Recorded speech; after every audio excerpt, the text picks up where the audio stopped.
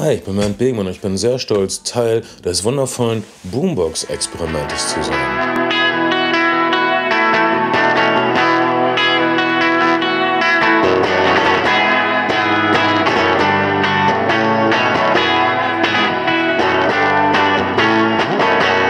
Sie kommt von oben, von ganz hoch oben reicht sie runter wie ein Regenbogen. Heute bin ich ein bisschen zu spät gekommen. Aus daran nicht, weil ich mich immer so lange regenerieren muss. Ich spiele, habe gestern vier Stunden gespielt ähm, und es ist anstrengend. Und ähm, ich bin so langsam manchmal. Ich setze mich manchmal nur hin, um äh, einen Kaffee zu trinken und dann ähm, stehe ich erst nach anderthalb Stunden wieder auf. Das ist heute nicht passiert. Ich hatte echt ein, äh, echt, das war, aber manchmal passiert das. Und mein Körper holt sich das zurück und regeneriert sich. Ähm, ähm, weil ich mich total verausgabe, weil ich alles gebe. Und das tue ich, weil ich nicht anders kann. Ich habe neulich mit einem Stoppock drüber geredet, der sieht das ganz anders. Der meinte, er, wenn er sich erinnert, er hat immer nur lang gespielt, wenn er unzufrieden war. Und dann wollte er es richtig stellen. Aber bei mir ist das nicht so. Ich ähm, denke, ich, ich sehe immer noch unsichtbare Verbindungen zwischen den Liedern. Einige Lieder, die ich jetzt schreibe, antworten auf Lieder, die ich vor zehn Jahren geschrieben habe. Zum Beispiel oder Lieder, die ich vor zehn Jahren geschrieben habe, äh, Antworten auf Lieder, die ich jetzt geschrieben habe. Zum Beispiel, ich habe ein Lied über eine erfolglose Band, die heißt Unsere Band ist am Ende. Dann gibt es ein Lied äh, von vor wirklich vor zehn Jahren über jemanden, der sich ins Privatleben zurückzieht und äh, nur noch mit seiner, sich mit seiner Freundin irgendwie eingräbt. Und das Lied heißt Sein Mädchen macht ihn glücklich.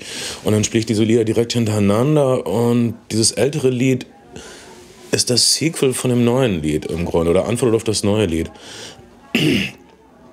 Das ist eine Art von ähm, ähm, Zeitauffassung, äh, die, die es nur in Liedern gibt. Ähm, nur in einem Lied kann man praktisch diese, diese physikalische Behauptung, dass äh, Dinge gleichzeitig passieren. Also die, diese etwas modernere physikalische Auffassung von Zeit. Also du hast keinen linearen Ablauf, wie es bei den meisten Filmen ist, wie es bei den meisten Büchern immer noch ist. Du hast also eine Gleichzeitigkeit. Der Mensch, der heute irgendwas tut, macht genau dasselbe in der Vergangenheit, nur als, als ferner Spiegel von irgendwas. Ich weiß, dass ich jetzt klinge wie ein irrer Spinner, aber das ist so.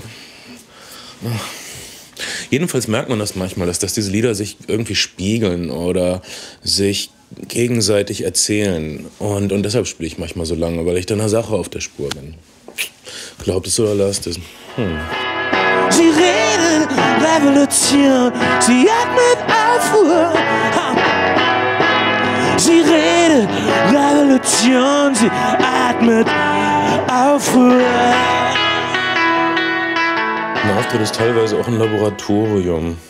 Und äh, an den armen Menschen, die kommen, probiere ich ähm, neue Lieder aus. Und neue Lieder heißt für mich neue Herangehensweisen, neue Vorschläge, neues Vokabular, ähm, neue Arten an Dinge ranzugehen. Äh, die meisten Leute haben auch, auch von der Seite der, der Rezeption in Deutschland, die haben da kein Ohr für, aber ich habe äh, Genres erfunden. Ja, ich habe zuerst über Sachen gesungen, über die niemand singt. Und ähm, ähm, Leute kommen deshalb auf die Live-Konzerte, weil sie ihr Leben darin reflektiert sehen. Eher als in anderen Sachen. Ich stehe normalerweise nicht in Zeitungen oder Zeitschriften. Und äh, ähm, ich habe nur ganz solide Konzertbesuche, weil Leute immer ihre Freunde damit hinzerren, die zuerst nicht wollen. Und äh, da müssen sie widerwillig zugeben, dass ich ihr Leben besser erfasse als, äh, weiß ich nicht. Ich meine, verstehst du, worum es in Save I Songs geht? Sie werden behaupten, wir hätten gelernt für später. Doch es ist eine Wunde, frisch geöffnet, die niemals heilt, weil wir dem Schmerz begegnen, Band, mit dem wir ab jetzt leben müssen. Ja, jedenfalls ähm, sind meine Lieder extrem diesseitig und ähm, äh, ich schreibe über viele verschiedene äh, Dinge und äh, Menschen, aber eine einzige Sache ist meinen Liedern gemeinsam und zwar, da ist eine Klarheit. Ähm, und das, das Schönste ist für mich, wenn, äh, das ist für mich sozusagen, ist mein Kunstideal. Du hast völlige Klarheit, du hast ähm, kongruente Form, ähm, du hast eine Art von Harmonie und äh, sowas. Äh, Aber obwohl alles so klar zu sein scheint, ist da doch ein Geheimnis drin verborgen, weil das ist, wie ich das Leben sehe. Es ist eigentlich alles klar und so, aber trotzdem ist es ähm, mysteriös. Aber dieses Geheimnis ist ähm, eben nicht, man kann sich diesem Geheimnis nicht nähern, indem man mystisch rumschwafelt oder indem man äh, nur dunkle Andeutungen macht die ganze Zeit. Ich sehe ja Dinge, die andere nicht sehen. Und ich will, dass sie das auch sehen. Äh, das ist ähm, ein Abstand, der mich schmerzt. Das ist kein Vorsprung, auf den ich mir was einbilde. Wir werden dies tun, wir werden das tun, wir werden hinabgeleiten. Doch wir sind 15 und wir werden nicht zusammenbleiben. Du sagtest das, weil du klüger warst. Um, ähm, ich bin nicht unterwegs, um ähm, den Koffer zu haben. Ähm, ich habe einen Kleidersack nebenbei, ähm, sondern ähm, weil es mir so viel ermöglicht. Äh, es ermöglicht mir zu singen. Das ist die Hauptsache. Also das Rumfahren, darauf lege ich wirklich keinen Wert. Äh, deutsche Bundesautobahnen können einen wirklich runterziehen und einen auch ängstigen. Aber an dem Augenblick am Abend, wenn ich anfangen kann zu singen, wenn alles aufgebaut ist, wenn die Leute dran sind, da, das ist der beste Zeitpunkt des Tages, was soll ich sagen? Und dafür nehme ich eben auch die Raststätten in Kauf. Obwohl äh, man auch sehr viel erlebt und ich das, wenn ich längere Zeit ein paar Monate nicht auf Tour war, habe ich das Gefühl, ich verpasse den Anschluss im Land. Ich weiß nicht mehr, was los ist. Ich ähm, spreche von einer Wahrheit, die man nicht durch Spiegelleitartikel erfassen kann, sondern die man nur erfassen kann, wenn man den Leuten so zuhört in verschiedenen Regionen, wenn man beobachtet, wie sie miteinander umgehen, wenn man in einer Supermarktschlange in einer fremden Stadt steht. Eigentlich wollte ich nicht nach Hannover, doch ich war ohne jede Verpflichtung. Also sag ich zu ihr, wir fahren beide in dieselbe Richtung. Hey, wir fahren beide in dieselbe Richtung. Oh. Viele, die ich kenne und die du bestimmt auch kennst und deren CDs du zu Hause hast, ähm, sehen das im Grunde so. Die denken, ah, machen wir eben noch eine Platte, äh, was soll's. Oder die, die, die machen CDs, um auf Tour gehen zu können. Oder sie, machen, sie schreiben Lieder, um eine CD füllen zu können. Das finde ich falsch rum. Ich finde, man muss Lieder schreiben, weil es sie nicht gibt. Sie sang laut zum Radio mit, sie kannte alles Hit für Hit durch den Monsun. Ich horche in den Raum rein. Ähm, die ähm, Summe der Anwesenden ergibt eine Art Hyperperson. Und ich versuche äh, in das Gesicht dieser Hyperperson zu blicken und direkt mit ihr zu sprechen. Auf eine Art, wie ich mit dir sprechen würde, wenn du mich spät nachts besuchen würdest und ich spiele dir ein paar von meinen Lieblingsplanen vor oder so. Ähm, äh, äh, und dann denke ich natürlich nach, welches von meinen 500 Lieblings-Live-Liedern ich jetzt als erstes bringe. Achtung.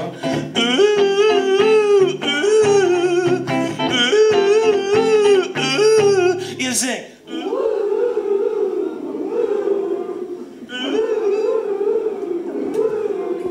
Du hast mich umarmt, als mich niemand anders wollte. Du hast mich beschützt, als ich betrunken auf die Straße rollte. Okay. Als ich vor zehn Jahren herkam, war ich ziemlich arm. Jetzt bin ich immer noch arm. Oh, St. Pauli, alle singen.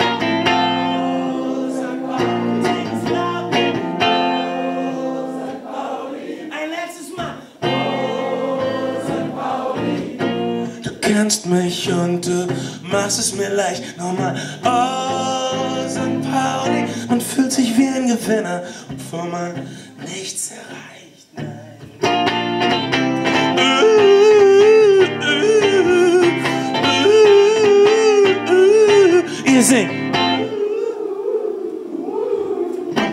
Leichten Straßen an meinen leichten Schuhen.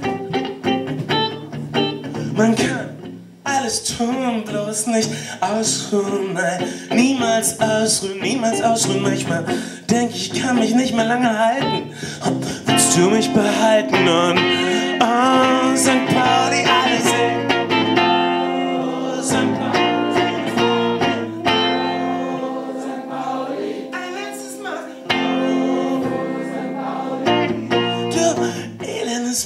Miststück, kriegst mich nicht klein.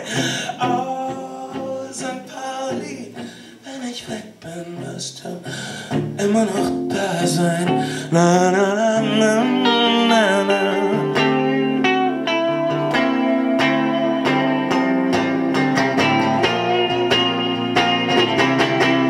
Und Samstagnacht schauen sie von überall her und dann Sonntagmittag bist du wieder menschenleer wie hält das nur aus, dieses Hin und Her. Mir fällt es schwer. Mir fällt es ziemlich schwer in letzter Zeit. Und Gudrun nennt sich nicht mehr Jasmin. Hat Geld gespart und konnte endlich hier wegziehen. Oh ja. Sie, wenn, wenn es von niemand anders gehört hat, dann müsst ihr mir schon glauben. Sie wäscht Gardinen in ihrem Reihenhaus in Fischbeck. Okay, das äh, singen Leute in diesem Teil Deutschlands vielleicht nicht so gerne mit wie in Norddeutschland. Ich weiß nicht, Fischbeck ist Nordfurt von Hamburg. In Norddeutschland singen das alle Leute mit. Die kommen den ganzen Abend nur um bei Fischbeck die Faust zu ballen. So, Fischbeck! Irgendwie so. Die, das ist schwierig zu erklären. Also, sie leben nicht in Fischbeck und sie mögen Fischbeck nicht. Aber sie denken, wenn sie ganz laut Fischbeck rufen, dann bleibt es ihnen erspart. So ist das. Wie so ein mittelalterlicher Schutzbann. Fischbeck ist so ein Ort, wo man nicht so gerne hin möchte. Aber wenn man dann da lacht, landet, meine ich, wenn man in Fischbeck landet, dann äh, ist es ganz gut. Ich schätze das. Äh. Ich meine, was, was, was ist das Fischbeck von Aachen? Bursch. Okay, dann können wir das mit Burscheid machen, schätze ich. Soll mir niemand nachsagen, ich wäre nicht flexibel. Gute Erde. Das ist nicht eine Serie? Oh mein Gott. Mein kleiner Freund, geh nicht vor. Okay, sagen wir mal, Burscheid, Rote Erde ist so unrockig. Dann denkt jeder an diese Serie mit Richie Nase Müller. Richie Nasen Müller war auch in das Boot, wie Herbert das Boot Grönemeyer oder wie dieser, Ralf Richter oder dieser, dieser Typ, der immer besoffen Auto fährt ohne Führerschein. Martin besoffen Sammelrohr, der. Ich schlage das System. Das ist ein Idiot.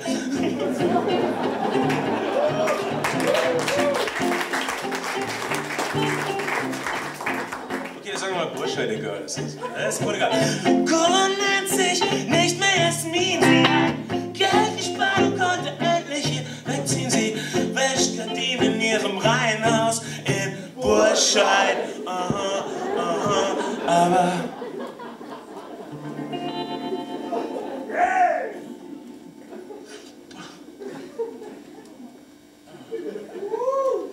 Heimlich träumt sie von Oh, St. Pauli, einmal berührt, für immer verflucht,